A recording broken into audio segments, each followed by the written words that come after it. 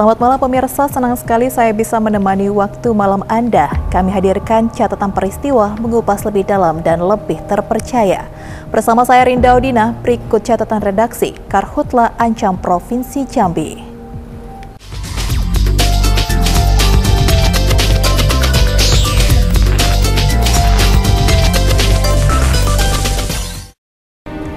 Kebakaran lahan kosong dan semak pelukar yang ada di Desa Talang Duku, Kecamatan Taman Rajo, Kabupaten Muaro Jambi pada Rabu sore hingga Kamis dini hari belum bisa dipadamkan oleh tim Satgas Gabungan BPBD Muaro Jambi serta TNI Polri, bahkan dua pesawat waterbombing dari BPBD Provinsi Jambi belum bisa memadamkan amukan si jago merah tersebut.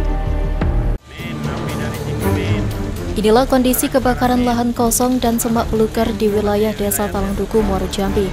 Dua helikopter waterbombing dari Satgas Gabungan BPBD Muaro Jambi dibantu pihak TNI Polri terlihat kewalahan untuk cepat memadamkan amukan si jago merah yang telah menghanguskan lahan kosong dan semak belukar tersebut. Selain itu sulitnya akses masuk ke lokasi kebakaran serta terbatasnya ketersediaan air sebagai kendala dalam pemadaman oleh tim gabungan Satgas Pencegahan Kebakaran Hutan dan Lahan di Muaro Jambi. Selain itu, kencangnya angin ditambah media tanah gambut membuat kobaran api mengancam perkebunan masyarakat yang ada di wilayah tersebut. Tak hanya itu, sulitnya api dipadamkan membuat kebakaran terus terjadi hingga Rabu malam sampai Kamis dini hari.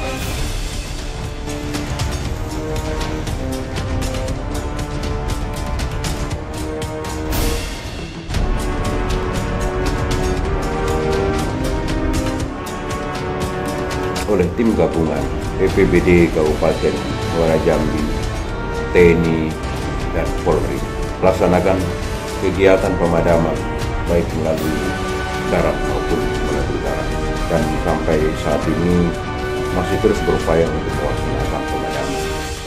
Menurut laporan dari lapangan, ada beberapa kendala sehingga sampai sekarang masih terus dilaksanakan pemadaman pertama ketersediaan air yang sangat minim di lokasi kemudian akses jalan masuk ke lokasi yang hanya satu akses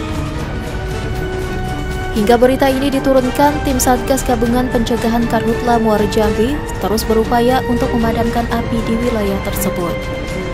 Novia Putri Sanjaya, Jack TV, melaporkan. Kebakaran hutan dan lahan kembali terjadi di Kabupaten Tanjab Barat. Kali ini kebakaran terjadi di Desa Lubuk Terentang, Kecamatan Betara. Setidaknya 1,5 hektar lahan terbakar. Kejadian ini terjadi sekira pukul 1.00 waktu Indonesia Barat, Kamis 10 Agustus 2023. Memasuki musim kemarau saat ini, siaga karhutla terus dilakukan BPBD Tancap Barat bersama tim Satgas Karhutla agar jika terjadi karhutla dapat dilakukan penanganan sedini mungkin. Namun pada Kamis 10 Agustus 2023 sekira pukul 13.00 waktu Indonesia Barat, kebakaran lahan kembali terjadi di Desa Lubuk Terentang, Kecamatan Betara, Kabupaten Tanjung Jabung Barat. Dikarenakan lokasi kebakaran cukup jauh, mempersulit tim Satgas Karhutla untuk melakukan pemadaman.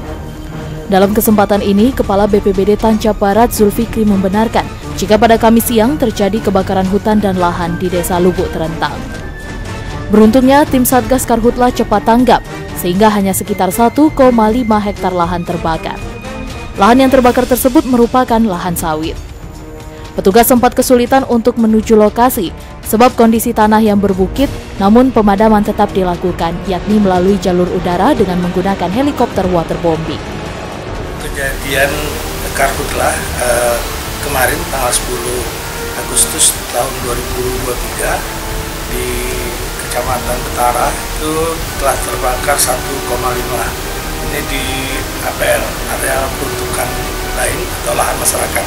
Dan kemudian untuk eh, tindakan yang dilaksanakan oleh tim Satgas Karhutla melaksanakan pemadaman darat juga melaksanakan pemadaman uh, udara dan ini dibantu sebelumnya oleh pesawat helikopter dari perusahaan Petrocina.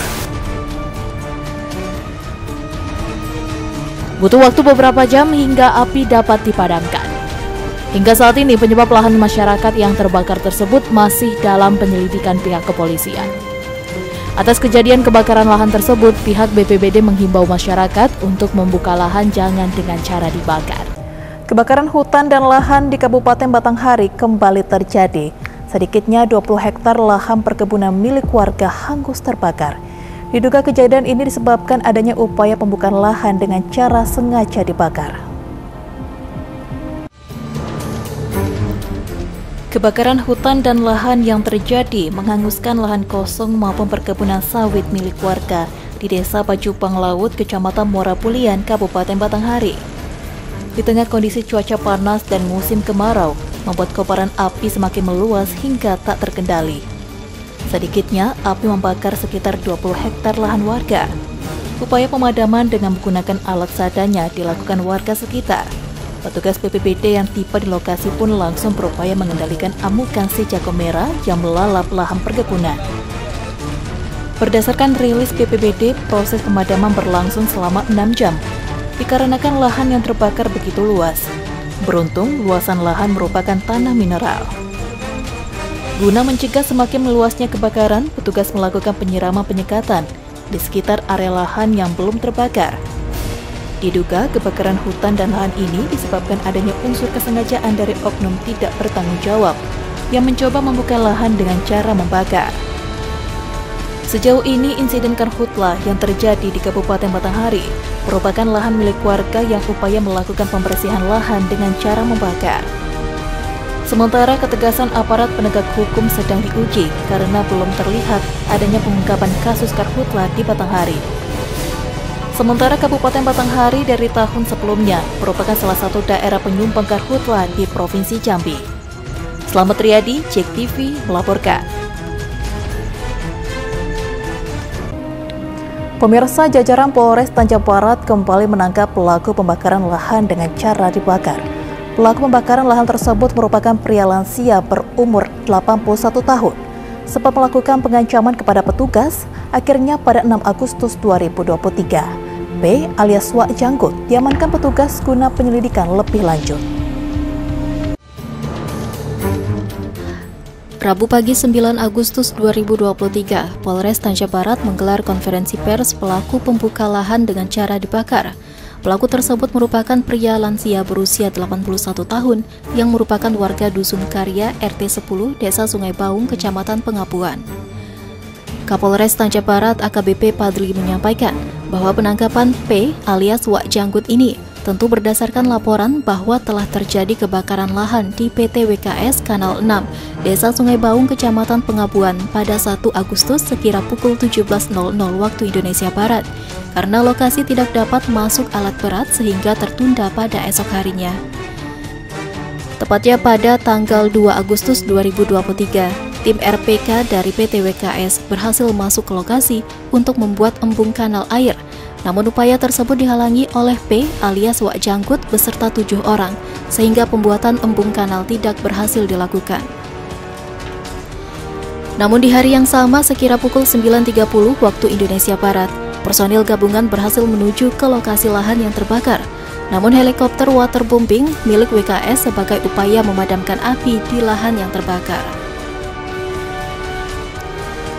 Namun pada 5 Agustus Sabtu sekira pukul 14.00, lahan kembali dibakar di tempat yang sama. Sempat dilakukan upaya preventif, namun tidak diindahkan. Dan akhir pada Minggu 6 Agustus, petugas Polres Tanjab Barat langsung menangkap P alias Wak Janggut. Dalam penangkapan ini sempat terjadi pengancaman, namun P alias Wak Janggut berhasil diamankan. Barang bukti lainnya juga turut diamankan guna penyelidikan lebih mendalam. Nah kemudian dengan dasar ini saya mengumpulkan seluruh perwira Polres. Dan kami bersepakat bahwa upaya-upaya preventif, preventif yang kami laksanakan tidak akan membuahkan hasil.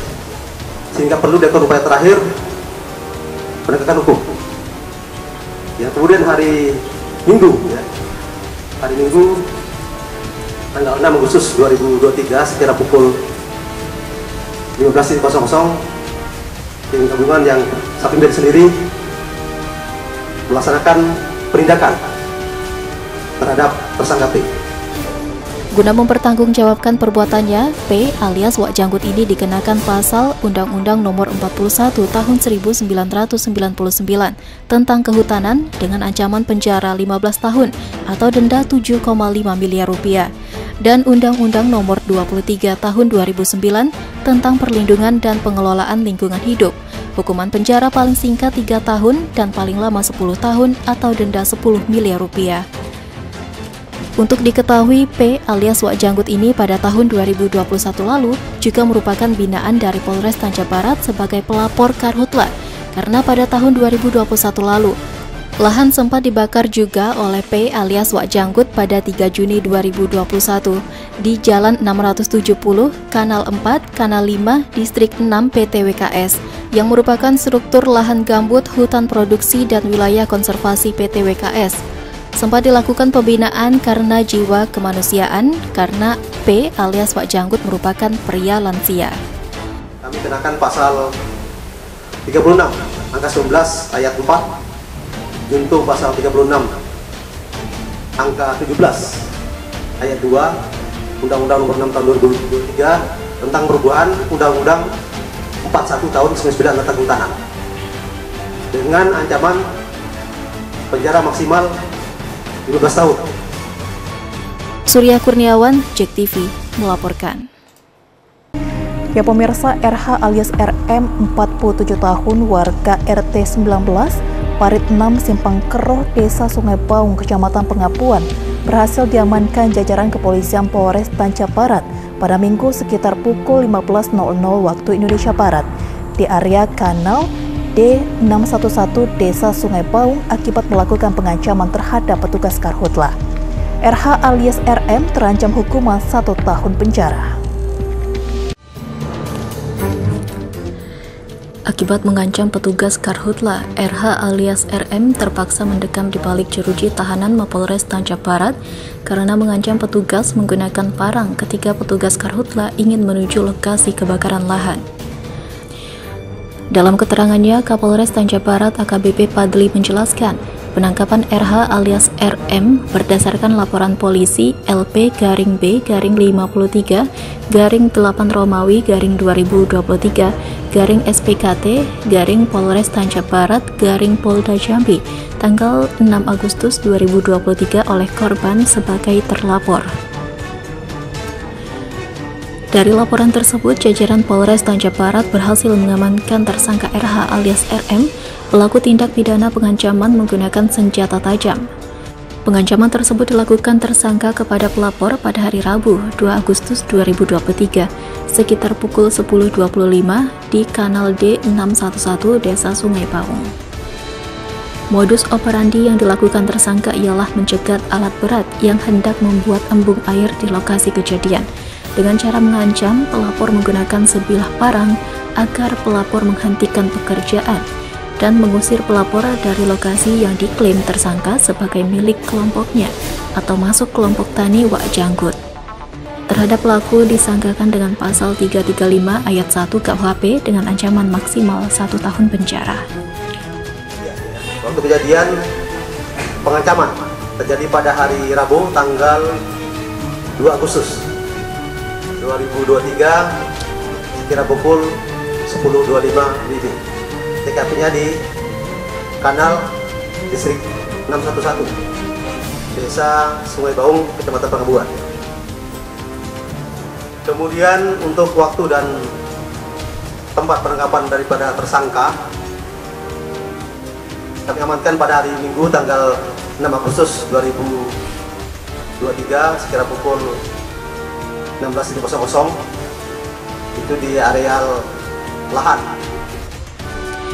Diketahui bahwa tersangka bersama kelompoknya melakukan tindak pidana pembakaran lahan dengan dalih untuk menyuburkan tanah di area WKS yang telah diklaim sebagai lahan milik kelompoknya. Selain itu, tersangka RH alias RM ini juga merupakan residivis dengan kasus perambahan hutan. Laporan polisi yang kami terima dari korban, kemudian tim melakukan penyelidikan dan kami mendapatkan informasi bahwa tersangka RH atau RH ini berada di lahan yang berada di Parit 6 ya, distrik 611. Kemudian kami bergerak bersama rekan yang lain dan selanjutnya melaksanakan penangkapan. Surya Kurniawan, Cek TV, melaporkan. Pemirsa memasuki musim kemarau, kebakaran hutan dan lahan mulai melanda wilayah Kabupaten Muaro Jambi. Guna mencegah terjadinya karhutlah kembali terulang, polisi gencar melakukan pemasangan spanduk imbauan pencegahan karhutlah. Jajaran kepolisian sektor Marosepo dan subsektor Taman Rajo, Resort Muaro Jambi, memasang baliho pencegahan kebakaran hutan dan lahan di lokasi rawan terjadinya karhutlah di Desa Talang Duku, Kecamatan Marosepo, Kamis siang. Baliho yang dipasang polisi tersebut terdapat penjelasan bahwa setiap pelaku pembakaran lahan terancam denda 15 miliar rupiah dan hukuman penjara 10 tahun. Pemasangan spanduk imbauan dimaksudkan agar masyarakat memahami tentang karhutlah, serta ancaman hukuman bagi pelaku pembakaran lahan. Selain merupakan tindak pidana, membakar hutan dan lahan juga membahayakan kesehatan dan merusak lingkungan hidup. Selain memasang baliho, polisi bersama BPBD dan unsur pimpinan kecamatan di Kecamatan Taman Rajo juga mengumpulkan tokoh masyarakat, ketua RT, kadus hingga kades mereka dikumpulkan untuk diberikan imbauan agar terus berhati-hati dengan ancaman kebakaran hutan dan lahan di musim kemarau saat ini. Melakukan itu warga semua toko-toko di sini saya kumpulkan, saya berikan himbauan uh, terkait situasi saat ini panas, ya. Disipasi terjadi terjadi kebakaran. Jangan sampai terulang lagi karena uh, pedulian daripada masyarakat itu penting. Kan pedulian dari kita koordinasi saling koordinasi sangat penting. Dan saya sampaikan juga apabila ada api yang segera koordinasi yang cepat untuk kita sama-sama memadamkan untuk tolong sesama masyarakat aparat uh, setempat. Dan saya juga melakukan pemasangan uh, berupa balai-balai seperti ini. Nanti akan dilakukan seluruh desa dan tempat-tempat yang memang uh, banyak semak belukar kita akan melakukan pemasangan bersama Pak Camat dan Ramil dan aparatur desa setempat. Upaya kegiatan pencegahan dengan pemasangan spanduk dan sosialisasi langsung ke masyarakat ini sebagai antisipasi terhadap kebakaran hutan dan lahan. Sebab diketahui saat ini masih ada masyarakat yang nekat membuka lahan dengan cara membakar. Novia Putri Sanjaya, Cek TV, melaporkan. Pemirsa kebakaran hutan dan lahan atau karhutla mulai terjadi di beberapa wilayah di Provinsi Jambi. Gubernur Jambel Haris mengatakan segera mengambil langkah-langkah penanganan dan minta Satgas Karhutla menyelidiki penyebab kebakaran tersebut. Dan informasi ini menutup perjumpaan kita kali ini. Mewakili tim redaksi yang bertugas, saya undur diri. Sampai berjumpa lagi. Kebakaran hutan dan lahan atau karhutla sejak beberapa hari terakhir mulai melanda beberapa wilayah di Provinsi Jambi. Rabu 9 Agustus 2023, kebakaran lahan terjadi di Desa Talangduku, Muaro Jambi. Seluas 3 hektar lahan yang belum diketahui pemiliknya itu dinyatakan terbakar. Api baru bisa dipadamkan pada Kamis 10 Agustus malam. Kemudian Kamis 10 Agustus juga terjadi kebakaran lahan sawit dan semak belukar dengan status lahan APL di kawasan Kabupaten Tanjung Jabung Barat, Jambi. Lahan yang terbakar adalah semak belukar yang terdapat pula tanaman sawit. Belum diketahui berapa luas lahan itu, saat ini api sudah berhasil dipadamkan. Kebakaran lahan sawit juga terjadi di Kecamatan Mandiangin, Kabupaten Sarolangun, dengan luas lahan terbakar seluas 3 hektar milik perusahaan. Api juga sudah dipadamkan. Selain pemadaman langsung di lapangan, tim Satgas Karhutla juga melakukan pemadaman lewat udara atau waterbombing dengan mengerahkan dua helikopter. Gubernur Jambi Al-Haris mengatakan akan segera mengambil langkah cepat untuk mengatasi karhutla tersebut. Ia akan memonitor di lapangan terkait kebakaran yang terjadi sejak beberapa hari terakhir. Tapi yang jelas nanti kita akan lihat nanti ke lapangan dengan Pak Danrem selaku komandan lapangan. Karhutla ini seperti apa nanti? Apakah memang perusahaan atau ada pelaku yang sengaja atau memang ada uh, warga yang lalai ya? Atau memang ada perusahaan yang sengaja untuk membakar itu semua? Ini masalahnya. Rian Chen Chen, Cek TV, melaporkan.